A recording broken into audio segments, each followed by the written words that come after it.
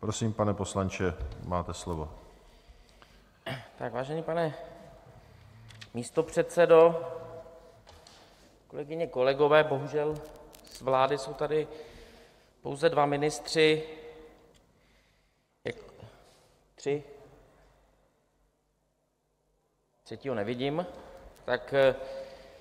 tak á, tady, pardon, jakkoliv jde o nejdůležitější zákon roku, my jsme ve třetím čtení, myslím si, že to jde docela rychle, je 10.52, všechna přednostní práva už promluvila, teď už mluvíme my, obyčejní poslanci, myslím si, že to skončí rychleji, než jsme všichni předpokládali, ale zase nám dovolte si k tomu rozpočtu říct nějaké základní věci. Já konkrétně jsem tam dal tři pozměňovací návrhy, vlastně čtyři, protože ten jeden nahradil ten předchozí, a jde o zastavení marných bagatelních exekucí a prostředky, kde si už nesahám do té rezervy, protože by to pravděpodobně, a to teď nevíme, nebylo hlasovatelné, ale do státního dluhu.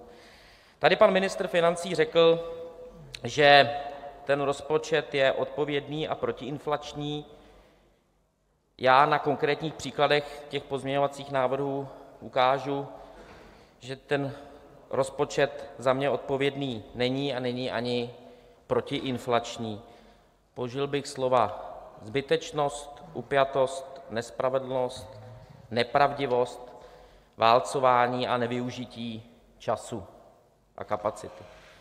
Pokud jde o zbytečnost, tak ten výsledek. Dobře, pane poslanče, pokračujte ve svém projevu, ale já požádám paní předsedkyni klubu hnutí ANO, paní Schillerovou, aby za mnou přišla pro krátkou konzultaci, abychom se pobavili o jednacím řádu Sněmovny. Prosím, pokračujte. Pokud jde o tu zbytečnost, tak tam, když se podíváte na ten výsledek slibovaný a to, že tady Česká republika byla v rozpočtovém provizoriu, tak za mě to vyvážené tedy rozhodně nebylo, slibované škrty 60 až 120 miliard skončily na 34,5 miliardách. Pokud jde o tu upjatost, tak tam mně přijde, že ty změny za každou cenu proti tomu původnímu návrhu jsou v rozporu s tím, jak se vyvíjí celá ekonomika v České republice, a já předvídám, že vy přijdete do tří měsíců s novým státním rozpočtem, který bude některé ty vaše škrty napravovat a řešit. Nespravedlnost. Někde se škrtá nebo neškrtá, to je ten Úřad vlády, a někde, a to já právě se snažím napravovat, se naopak škrtá úplně zbytečně.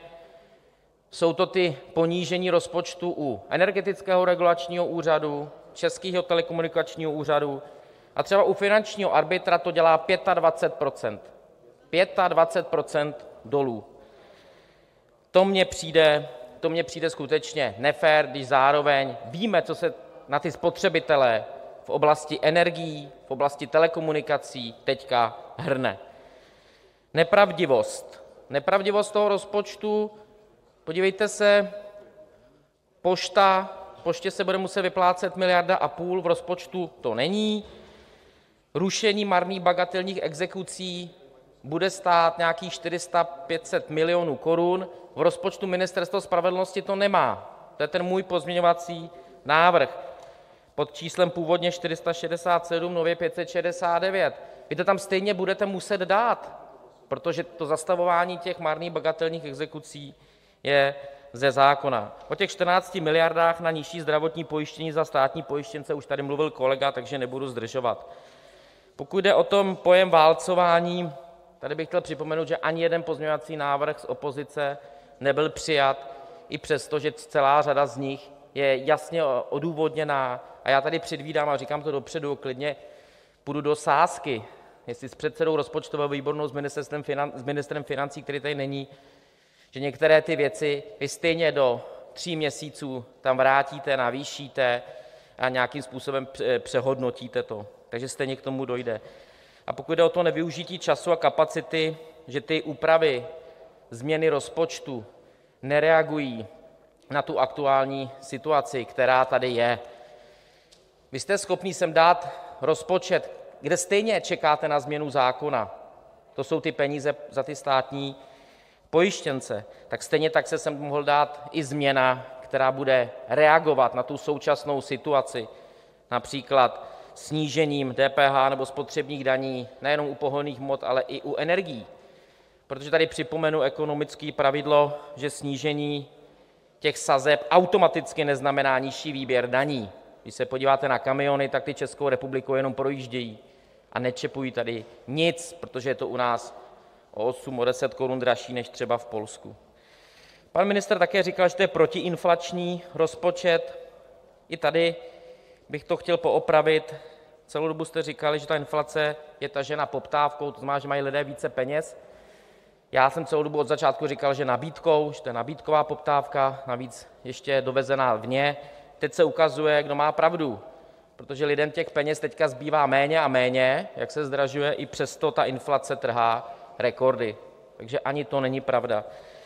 Jinými slovy, jak jsem řekl, mám tam tři pozměňovací návrhy řešící ochranu spotřebitele, které jsem načetl ve druhém čtení. Za mě ten rozpočet je, jak jsem řekl, zbytečně upjatý, nespravedlivý, v některých momentech nepravdivý. Vy válcujete v této chvíli opozici, nevyslyšíte ani jeden pozměňovací návrh zatím, pokud jde o rozpočet. A pokud jde o tu debatu ve třetím čtení, pane místopředsedo, já se omlouvám, schválně se teď podívám do stenozáznamu, ale my jsme tady debatu, i politickou debatu ve třetím čtení vedli vždycky, co si vzpomínám. Vždycky jsme ji tady vedli a nikdy předsedající nenapomínal, že ten člověk nějakým způsobem se vyjadřuje obecně ke státnímu rozpočtu. Nikdy se to nestalo. Teďka poprvé.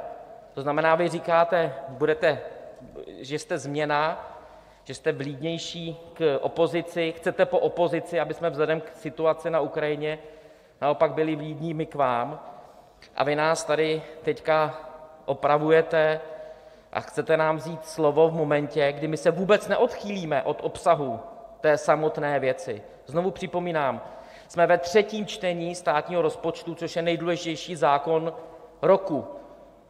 Každý z nás, jak kolega Farhan, tak já, tak jsme mluvili o státním rozpočtu, o penězích, o těch pozměňovacích návrzích, o důsledcích. Nikdo z nás ani slovíčkem z toho vůbec eh, neunikl někam, jinam. A znovu připomínám, je 11 hodin, je jenom 6 diskutujících, není to tak, že by nás tam bylo přihlášených 45 a bylo 9 hodin večer, kde bych já ten kontext toho, co jste vy říkal, chápal. Takže já vás poprosím, aby v tomhle byste měřil k nám stejným metrem, jako my jsme měřili vám v minulém volebním období. Děkuji za pozornost.